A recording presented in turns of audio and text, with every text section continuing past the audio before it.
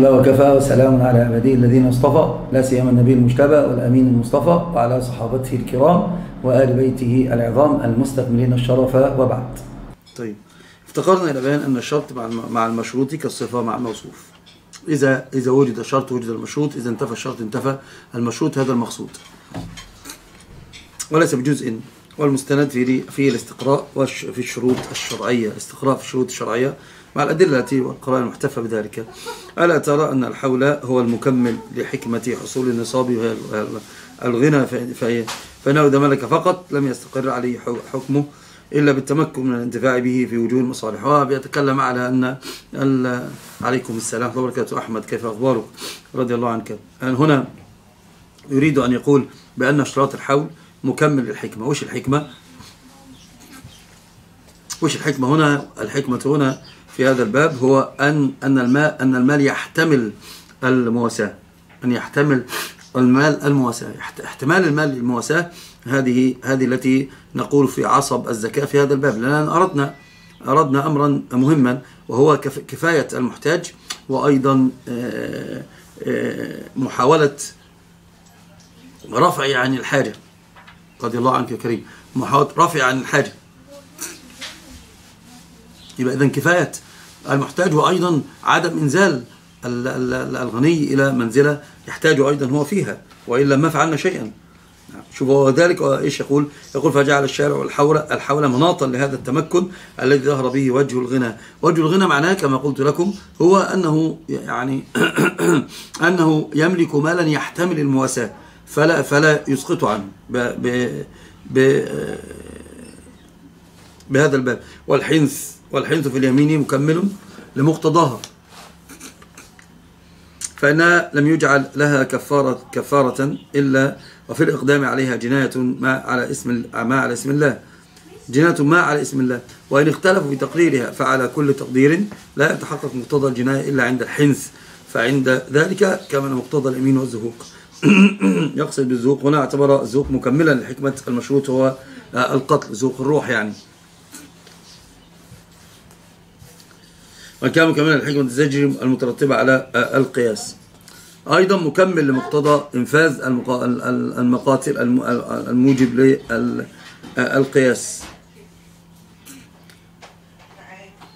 أو الدية ومكمل لتقرر حقوق الورثة في مال المريض مرضا مخوفا. يعني جاء الحنس كذلك. شرطه الموت. والمرض هو السبب وشرطه الموت. والإحصان مكمل لمقتضى جناية الزنا الموجبة للرجم وهكذا سائر الشروط الشرعية مع مشروطاتها.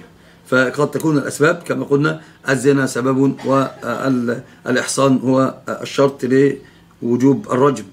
جعل جعل الإحصان مكمل لمقتضى الجناية والسبب طبعا الزنا والشرط عنده في الرجم أن يكون محصنا أن يكون محصنا. وربما يشكل هذا التقرير بما يذكر من أن العقل شرط للتكليف. رب يرضى عنكم. أحسن الله عليكم أحسن الله عليك وجزاك الله خيرا. أن العقل شرط للتكليف والإيمان شرط في صحة العبادات والتقربات فإن العقل إن لم يكن في إن لم يكن فالتكليف محال عقلا أو سمعا. فالتكليف كتكليف العجمات والجمادات ويكون تكليف بما لا يطاق. فكيف يقال إنه مكمل؟ يعني هو أصل. كيف يقال إنه مكمل؟ بل هو العمدة في صحة التكليف. يعني العقل مناط التكليف يبقى إذن هو الأصل ليس مكملا. كذلك لا يصح أن يقال إن الإيمان مكمل للعبادات فإن العبادة أو عبادة الكافر لا حقيقة لا يصح أن يكملها الإيمان وكثير من هذا. يقول الإشكال يرتفع بأمرين. الأمر الأول آه، آه، يعني الأمر الأول أن هذا من الشروط العقلية لا الشرعية والكلام في الشروط الشرعية. لكن سيرد عليهم هنا أيضا رد بأنه حقا لو قلنا العقل من التكليف فأن هذه من الشروط العقلية لكنه جاء الشرع به. فيصير شرعيا. عندما جاء الشرع به يصير يصير بذلك شرعيا. فتكون الإجابة الأولى كلا شيء والإجابة الثانية أن العقل في الحقيقة شرط مكمل لمحل التكليف.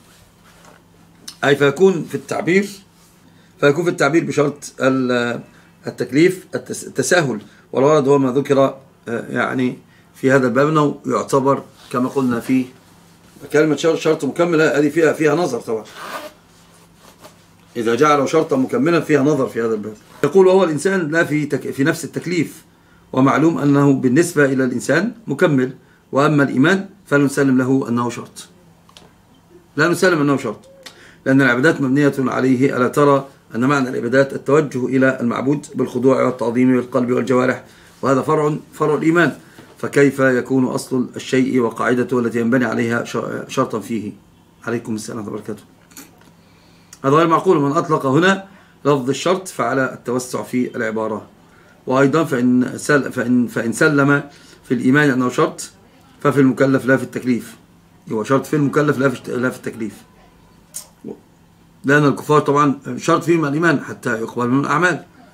ويكون شرط صحة عند بعض وشرط وجوب عند بعض فيما عدا التكليف بالإيمان حسب ما ذكره الأصوليون في مسألة خطاب الكفار بالفروع. والمسألة الخامسة الأصل المعلوم في الأصول أن السبب إذا كان متوقف متوقف التأثير على شرط فلا يصح أن يقع المسبب دونه ويستوي في ذلك شرط الكمال وشرط الإجزاء فلا يمكن الحكم بالكمال مع فرض توقفه على على شرط. كما لا يصح الحكم بالإجزاء مع فرض توقفه على شرط. وهذا من كلامهم ظاهر فأنه لو صح وقوع المشهود بدون شرطه لم يكن شرطا فيه. نعم. نعم. وإحنا قلنا التلازم هنا وثيق بين الشرط وبين المشروط. وإذا وجد الشرط وجد المشروط وإذا انتفى الشرط انتفى المشروط. وقد فرض فرض كذلك. هذا قل يعني قال وأيضا لو صح ذلك لكان متوقف متوقف الوقوع على شرطه غير متوقف الوقوع عليه معا. وذلك محل وأيضا فإن الشرط من حيث هو شرط يقتضي أن لا يقع المشروط إلا عند عند حضوره. وكما قلنا بأنه التلازم واجب في ذلك. فلو شرط لو جاز وقوع دونه لكان المشروط واقعا وغير واقع معا وهذا لا يمكن أن يقبل وذلك محال والأمر واضح من الإطمئنان ولكن من الأطناب فيه يعني ما, ما نطيل فيه الأمر الأمر واضح في ذلك. ولكنه ثبت, آه، ثبت في كلام طائفة من الأصوليين أصل آخر وعزي إلى مذهب مالك أن الحكم إذا حضر سببه وتوقف حصول مسببه على شرط فهل يصح وقوع بدون شرط شرطه أم لا؟ قولان اعتبارا باقتضاء السبب أو دخله في الشرط فمن راعى, راعى السبب وهو مقتضي لمسببه غلب اقتضاءه ولم يراعي توقفه على الشرط. ومن راعى الشرط وأن توقف السبب عليه مانع من وقوع مسببه لم يراعي حضور السبب بمجرده.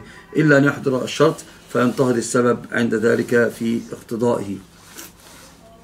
يقول ربما أطلق بعضهم جريان الخلاف في هذا الأصل مطلقا. وهنا القرافي أيضا ذكر ذلك وقال بأن الحكم الذي يتقدم على سببه وشرطه غير معتبر إجماعا. والذي لأنه الترابط إحنا قلنا الأمر مرتب المسبب لا يتأتى إلا بعد السبب. والذي يتأخر عن السبب ويتقدم عن الشرط يختلف العلماء في كثير من صوره. هل هو معتبر أم لا؟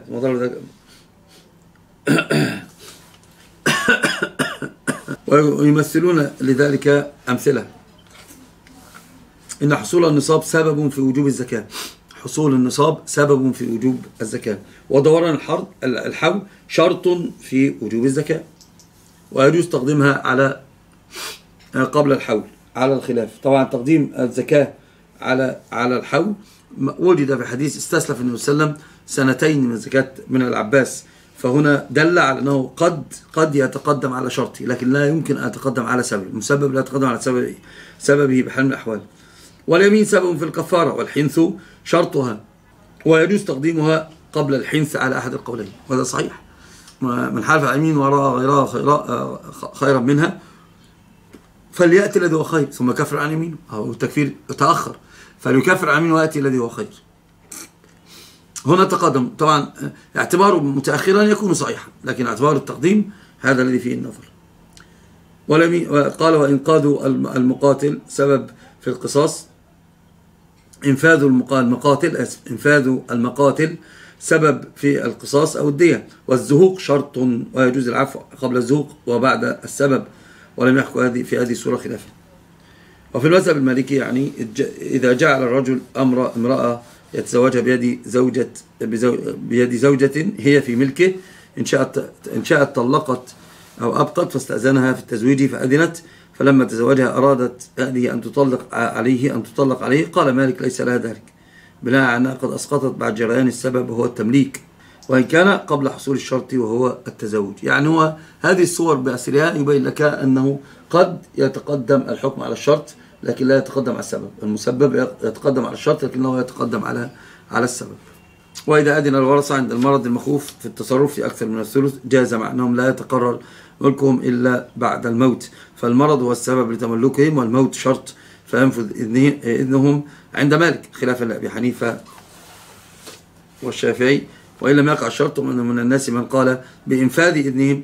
صحته المرض فالسبب على رأي هؤلاء هو القرابة ولا بد من القول بأن الموت شرط. يقول أيضا في المذهب من جامع فالتز ولم ينزل فاغتسل فأنزل ففي وجوب الغسل عليه ثانية قولا ولا في الوجوب بناء على أن سبب الغسل انفصال الماء عن مقره وقد اغتسل فلا يغتسل له مرة أخرى. هذه حجة سحنون وابن مواز فالسبب هو الانفصال والخروج شرط ولم يعتبر إلى كثير من المسائل تدار على هذا الأصل. لم يعتبر ب- إلى كثير من المسائل التي تدار في هذا الأصل. مسألة مشكلة في هذا الباب لكن الحق أنه وجدت كثير من المسائل أن المسبب يتقدم على سببه لكنه لا يتقدم على شرطه. يتقدم على شرطه ولكنه يتقدم على سببه. يتقدم على شرطه لكن لا يتقدم على سببه. وهو ظاهر المعارضة للأصل الأول فإن الأول يقتضي أو يقضي بأنه لا يصح وقوع المشروط بدون شرط شرط بإطلاق. على أن القاعدة أن المشروط متلازم مع مع شرطه.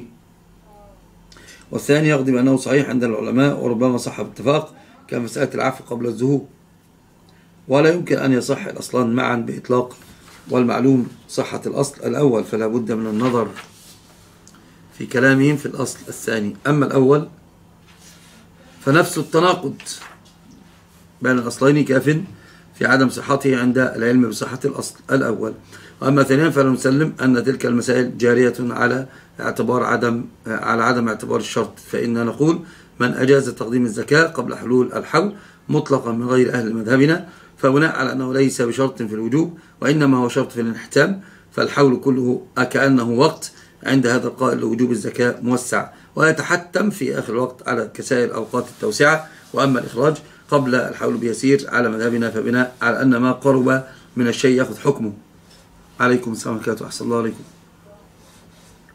فشرط الوجوب فشرط الوجوب حاصل وكذلك القول في شرط الحنث ومن أجاز تقديم الكفارة عليه فهو عنده شرط في الانحتام من غير تغيير لا شرط في وجوبها وأما مسألة الزهوق فهو شرط في وجوب القصاص أو الدية لا أنه شرط في صحة العفو وكذلك مت... وهو هذا متفق عليه.